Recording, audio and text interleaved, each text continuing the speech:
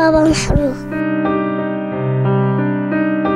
بهذه العبارة لخصت يارا ابنة الفقيد أحمد المطارنة ما عاشه والدها من معاناة قبيل إقدامه على حرق نفسه أمام بوابة الديوان. فهو مات خنقا قبل أن يموت حرقا لشدة الهموم التي تراكمت عليه نتيجة فساد عاشه في عمله على ما يقول أهل بيته الذي غدا مظلما بعد فقدانه. تعبان نفسيا ورن علي أنا آخر واحد. قول يا عيسى يا حبيبي. وهاي الجوازات هوياتي بالبوفيه رن علي أخوي بقول لي جمال أبوك بقول ما في شيء الساعة كم هي رحت بقول لي محروق. بعدين أبوي ما مات حرق مات خنق خنقوه. الأطفال عاشوا معاناة والدهم لحظة بلحظة والذي تجنب أن يبدو ضعيفا أمامهم فكان يتوارى عن أنظارهم فهو كان يذبح في كل مرة يشعر فيها بعجزه عن تأمين مصروف أولاده وعدم القدرة على تلبية أبسط احتياجاتهم. بحاول ما يدخلش البيت عشان ما حداش يطلب منه مصروفه.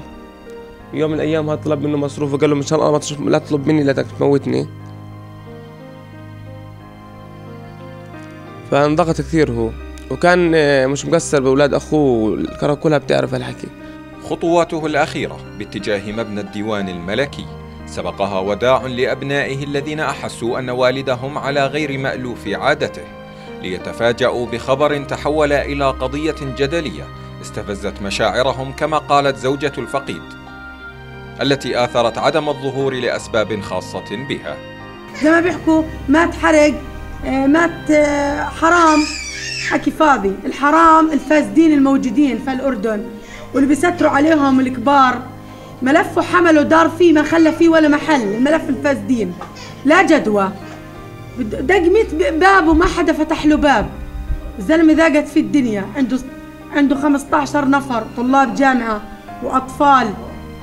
مهما قيل من كلمات منمقة تصف حالة أبو علاء وهو يتوجه بخطواته الأخيرة نحو حتفه فإنها تبدو عاجزة عن التعبير عن حجم الألم والحرقة.